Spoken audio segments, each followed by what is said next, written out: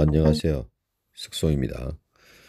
지금 현재 키네마스터 화면에서 종종 키네마스터를 실행하면 이와 같은 화면이 뜹니다. 지금 여기 보시면은 예, 이, 이 부분이 이렇게 팝업으로 뜹니다. 여기 자세히 읽어보면은요. 설치된 에셋 중 에셋입니다. 에셋 중 업데이트가 필요한 에셋이 있습니다. 약 29MB 되는데 지금 업데이트 하시겠습니까? 업데이트 하지 않으면 사용 중 문제가 발생해, 발생할 수 있습니다. 제가 아래쪽에 보면 나중에 업데이트, 지금 업데이트 이렇게 나오죠.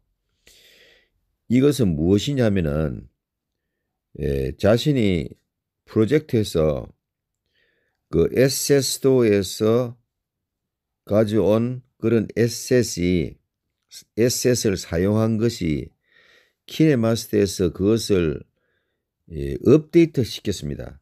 업데이트 시킨 것을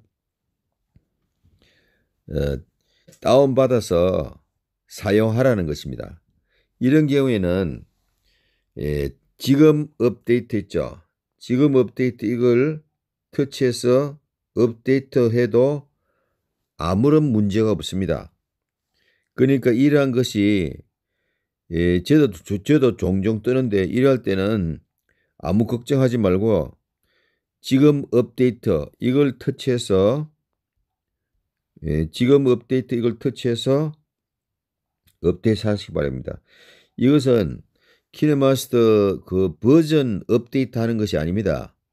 버전 업데이트 하는 것이 아니기, 아니기 때문에 에셋 스토어에 있는 asset을 업데이트 하는 것이니까 언제든지 걱정하지 말고 이러한 것이 뜰 때는 지금 업데이트 이걸 터치해서 업데이트 하기 바랍니다. 어, 이상 에셋 설치된 에셋 업데이트에 관한 설명을 드렸습니다.